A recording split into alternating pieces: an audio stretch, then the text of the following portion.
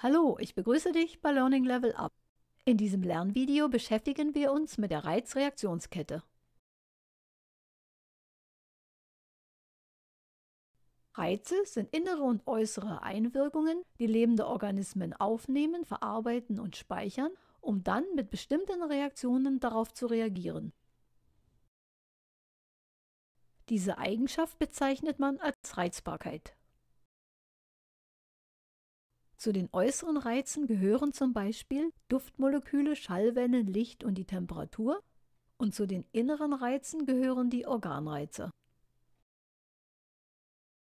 Einteilen kann man die Reize zum Beispiel nach der reizauslösenden Energieform in mechanische Reize, chemische Reize, thermische Reize und optische Reize.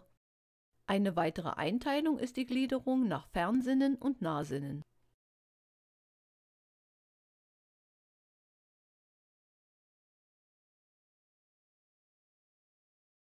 Die Aufnahme von Reizen, deren Weiterleitung und die Beantwortung des Organismus auf die Reize läuft in Reizreaktionsketten ab.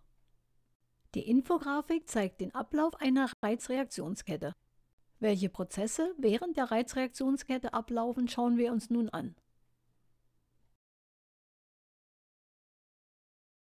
So erfolgt die Reizaufnahme durch Rezeptoren, die sich zum einen in den Sinnesorganen wie zum Beispiel Auge und Ohr und zum anderen in freien Nervenendigungen befinden. Rezeptoren reagieren nur auf adäquate Reize. Ein adäquater Reiz ist für einen bestimmten Rezeptortyp geeignet, das heißt, er besitzt für diesen Zelltyp die niedrigste Reizschwelle. Die Reizaufnahme führt zu einer Veränderung der elektrischen Ladung oder Spannung ihrer Zellmembran.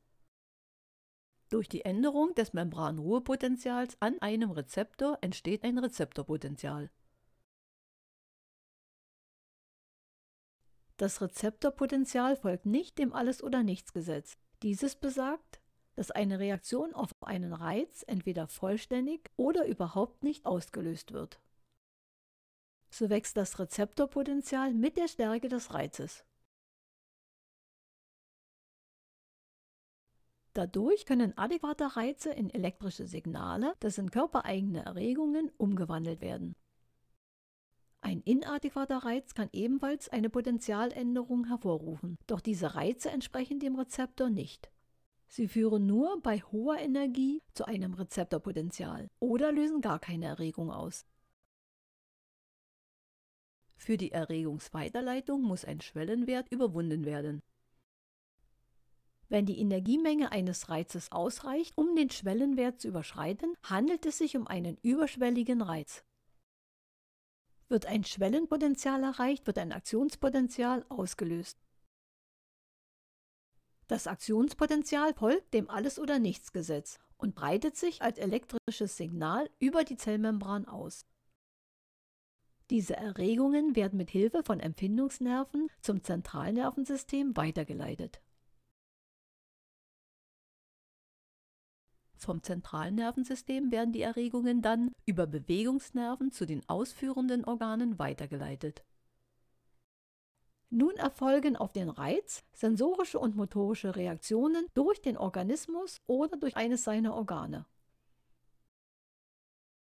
Man kann also sagen, die Reizreaktionskette ist die Verknüpfung von Reiz, Rezeptor, Nervenzellen und reagierenden Zellen. Das Wichtigste noch einmal kurz zusammengefasst. Reize sind innere und äußere Einwirkungen, die lebende Organismen aufnehmen, in elektrische Erregungen umwandeln, verarbeiten und speichern, um dann mit bestimmten Reaktionen darauf zu reagieren. So läuft die Aufnahme von Reizen, deren Weiterleitung und die Beantwortung des Organismus auf Reize in den Reizreaktionsketten ab. Wenn du weitere Informationen benötigst, auch zu anderen Themen, dann schau doch in unsere Biologie-Playlist. Unsere Lernvideos kannst du übersichtlich geordnet abrufen unter dem folgenden Link. Ebenfalls steht dir im Google Play Store unsere Learning Level Up App zum kostenlosen Download zur Verfügung. Dieses Lernvideo ist auch als Animation auf unserem System erhältlich. Eine Lizenz ist dafür erforderlich.